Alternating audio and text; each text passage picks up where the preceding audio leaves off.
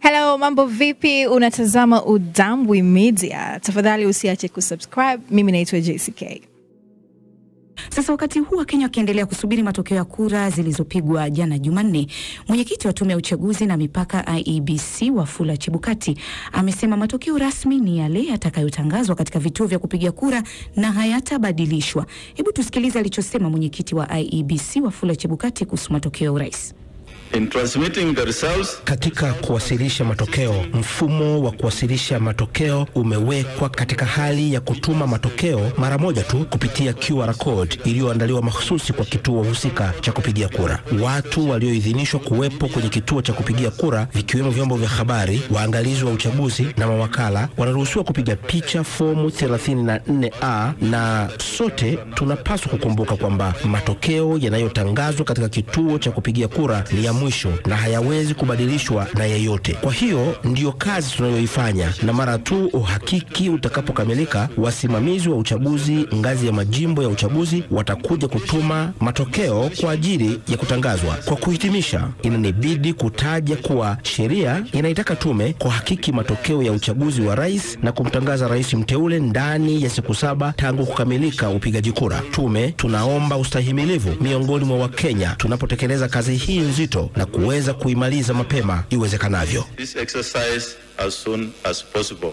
Nam na sasa, tume ya uchaguzi imekuwa ikitoa taarifa za mara kwa mara kwa vyombo vya habari, na awali nimezungumza na mwandishi wa BBC Richard Kagoe kutoka ukumbi wa Bomas of Kenya, ambaye amekuwa akifuatilia taarifa ambayo imetolewa na mwenyekiti wa IEBC Wafula Chebukati, na kwanza nilimuuliza iwapo IEBC imetoa taarifa yoyote kuhusu fomu 34A ya matokeo rasmi ya urais. Mwenyekiti wa tume kuhusu fomu thelathini na nne a kwamba ni tume ya uchaguzi ndio iko na mamlaka ya kuweza kutangaza matokeo ya uchaguzi. Alikuwa amesema kwamba shirika za habari ziko na nafasi ya kuweza kuhesabu kwao, lakini hawafai watangaze, na yote watakuwa wakipeperusha ni ile tu itakuwa imehesabiwa rasmi na tume ya uchaguzi. Na alikuwa tu akitoa taratibu akisema kwamba vile shughuli itakuwa ikifanyika ah, kama kuhesabu kura katika maeneo tofauti, na vile itakuwa ikipeperushwa mpaka pale katika ukumbi wa Bomas.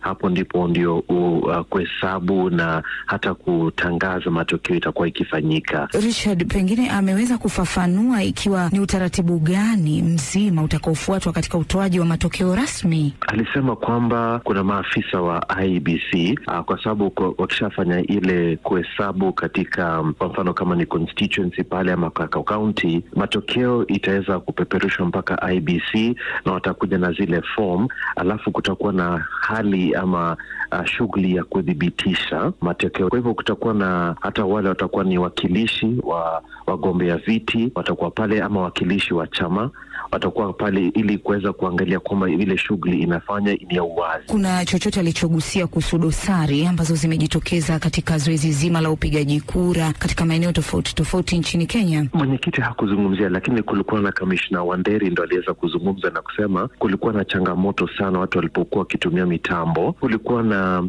hitilafu katika mitambo mia mbili ilikuwa imesambazwa kwa constituency tofauti, na zilikuwa ni ilikuwa elfu arobaini na sita, lakini alikuwa amesema changamoto tu ilikuwa ikihusu mitambo mia mbili peke yake, na hiyo ilikuwa ikihusisha ni kama uh, nikiangalia ni kama uh, asilimia kama sufuri uh, nukta tano. Kwa hivyo alikuwa anasema watu wasiwe na wasiwasi sana, na akasema kwamba uh, kutakuwa na shughuli ya kupiga kura, lakini tarehe itakuwa ni tofauti, kwa sababu kuna maeneo kama Mombasa na Kakamega kama shughuli ya kuweza kupigia ugavana na katika ile kupigia mjumbe katika eneo ya Pokot Kusini na maeneo ya Kacheliba na Rongai uh, itaweza kufanyika tarehe ishirini na tatu Agosti.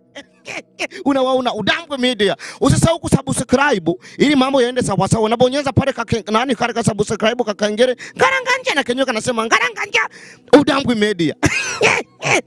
Ere, na kesho tena.